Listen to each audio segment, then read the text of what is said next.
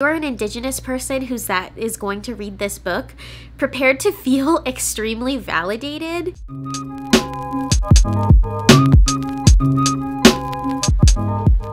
Hello everyone. Okay, take two. Hello everyone. Welcome back to my channel for another video this week. I know I've been a little bit sparse with my uploads, but I have been creating videos.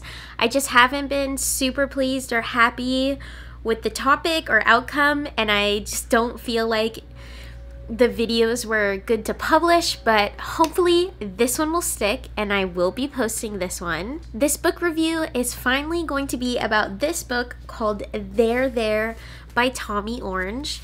And I've been delaying posting this because my dad has actually been reading this book. So I've been waiting till he's finished so I could get the physical copy back you know, so I could take nice pictures and have it for you in the video for me when I talk about it. But anyways, my dad finished this and he finished it really, really quickly, which I think is a good testament to how this review is going to go and, you know, what my opinions on this book are. So I want this first half of this video to be just kind of overall thoughts, non-spoiler thoughts. So I'm not going to spoil anything about the book. And then halfway through, I will put you know, big text and let you know that will be the spoiler version of the video where I'm going to be kind of spoiling it and, you know, giving away stuff about the book. So first of all, I wanted to give you some context as to how I happened upon this book. Um, I was in Alaska. If you didn't see, I have an Alaska vlog um, that I will link oh, it should be over here actually, that I'll put a card in up there. So I was in Alaska and I read a book that I bought called The Tao of Raven and I'm going to be doing a book review for that book as well. But I was really on this kick of like, I want to read books by indigenous authors, uh, fiction books to be specific, because it dawned on me that I have not read a lot of books or any for that matter, before I read The Tao of Raven, that had to do with Indian characters that were written by an Indian.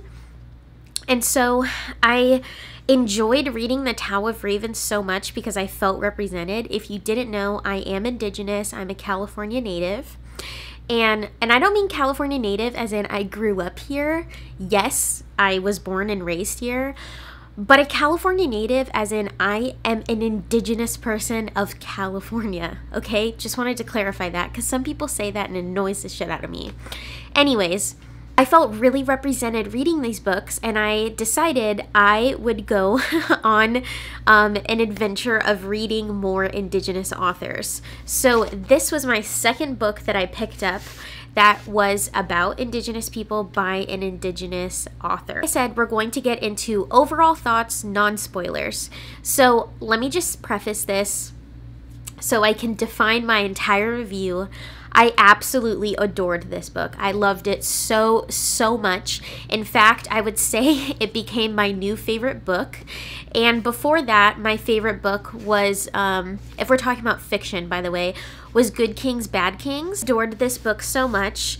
Um, I would give it a 10 out of 10. Just to give you an idea about what the book is about, obviously you can go online and like read the summary or whatever on the back but I'll put it into my words for you. It follows 12, I believe, different characters, um, almost all of them who are um, Cheyenne Arapaho native people, and they all have like unique stories, but they are all going to the same powwow in Oakland, California. And I would say that this book is specifically trying to capture the urban native experience. By the way, I might be using a lot of language in this book that you might not understand given that it's kind of specific to the indigenous community, but I will try my best to limit that.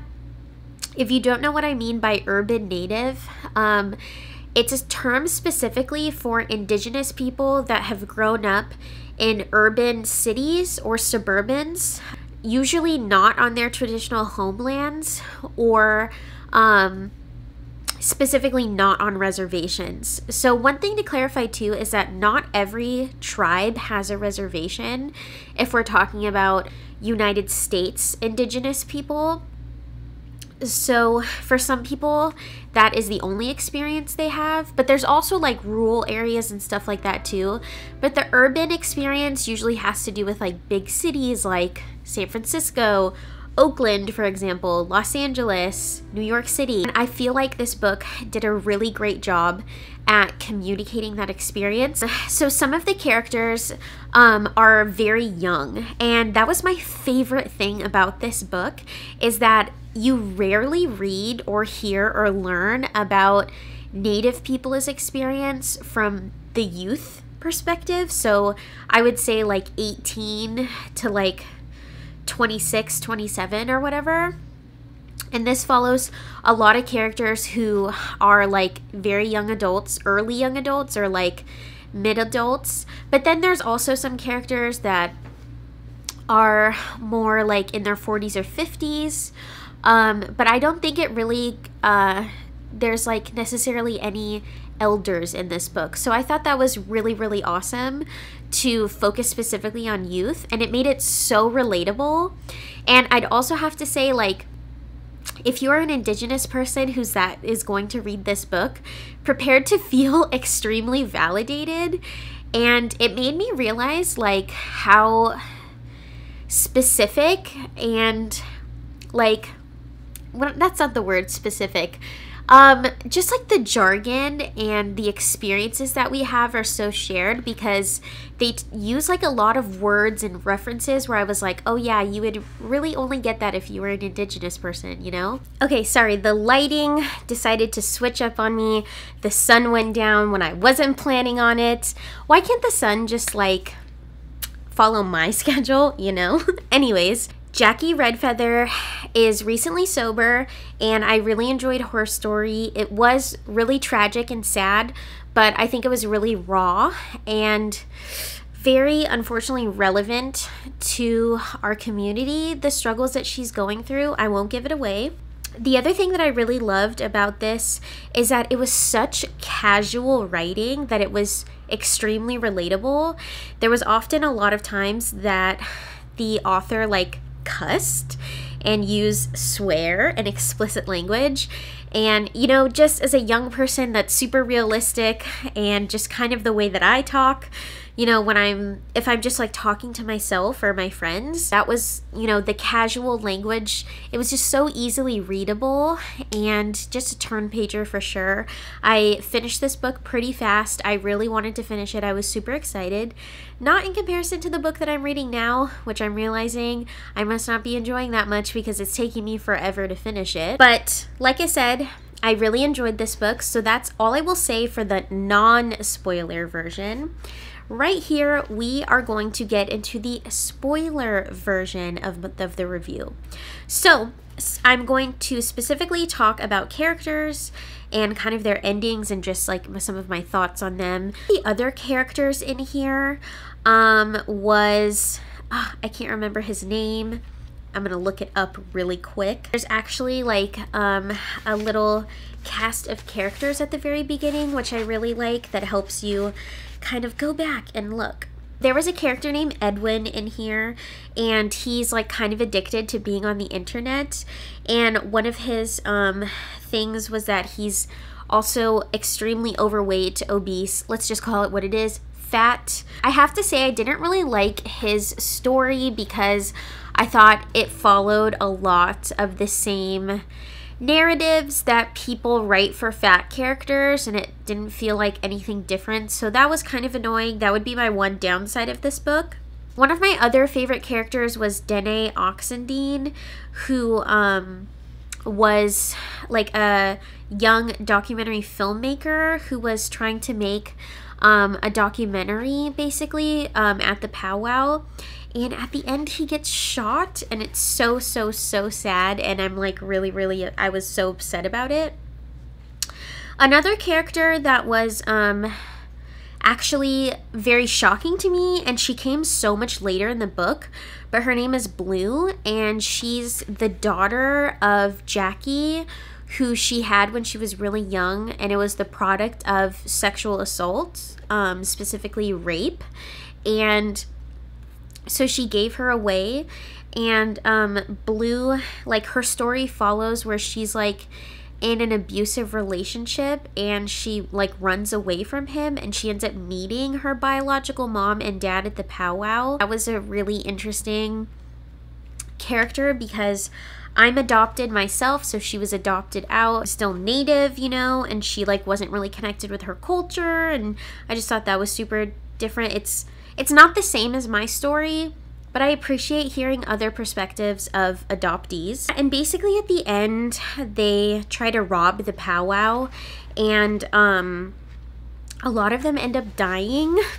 and, or getting shot and like seriously injured and it was so tragic. And i was talking to my dad about the book today and right at the end like normally throughout the book you would read some of the characters and they'd go on for like 15 pages or something like that 20 pages maybe at most. And like suddenly everybody's perspective was like two pages three pages one page. And so it went really fast. And my dad was like, it ended so fast. And I don't think he liked how it ended really quickly. But I was like, yeah, I know. It just ended so fast. Oh, another thing about this book, I think that kind of has to do with spoilers as well, is that there is um, a part um, between part one and part two where he interrupts, the author, Tommy Orange, interrupts to I don't know what he called it. It was basically like an interlude where he where he talks specifically like to native people um and to settlers, like kind of describing the native experience. And there was a really amazing quotation from it we are enrolled members of tribes and disenrolled members, ineligible members, and tribal council members. We are full blood, half breed, quadroon, eighths, sixteenths, thirty seconds, undoable math, insignificant remainders. And I really appreciated that kind of acknowledgement of, you know, how colonialism has affected our requirements for what it means to be indigenous. Like, really includes every type of indigenous person um, in this section and he like even before that he talks more about like the variety of indigenous people um, but that was one of my favorite lines from this interlude and kind of the entire book. I just felt very seen and validated at that part. If you would like to know more about my book reviews so that you can go out and buy the book and anticipate my review, I will link right here in a card. I posted a video talking about all of the books that I'm going to be reading for the month of July and August, but it seems like it's probably going to go into September as well. So make sure you check out that video. Um, I also talk about some of the documentaries that I'm going to be watching. So if you are new to this channel, make sure you hit that subscribe button so you can get notified well not notified that's a notification button but so you can get in your inbox my videos when i post another video maybe you could hit that bell button if you want to get the notifications i don't know i don't know your life your decisions you know i'm, I'm not gonna intrude uh, I'm not going to intrude and tell you what you should do, but you should definitely subscribe. And also, make sure to give it a big thumbs up for this video because it helps us smaller content creators. And leave a comment down below letting me know what you thought of this book, if you read it, if you're going to read it now that you know, I gave you a review. Um, what was your favorite part? And um, what other books are you reading? You know, just leave whatever comment you want to, okay? Thank you so much for watching, and I will see you in my next video.